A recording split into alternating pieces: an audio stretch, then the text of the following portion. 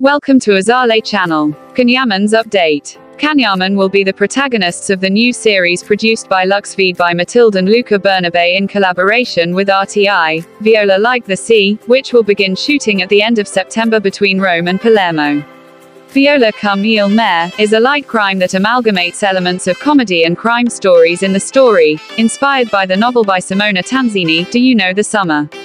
Published by Sellerio. The Turkish star, moreover, from February 2022 will be busy on the set for the start of the shooting of the remake in a contemporary key of the blockbuster, Sandokan, the majestic international co-production by Lux Vide, born from an idea of the CEO of the company, Luca Bernabei.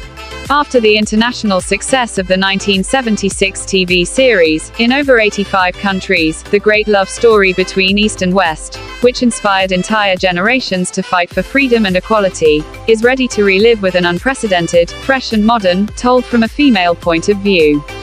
Thank you for watching.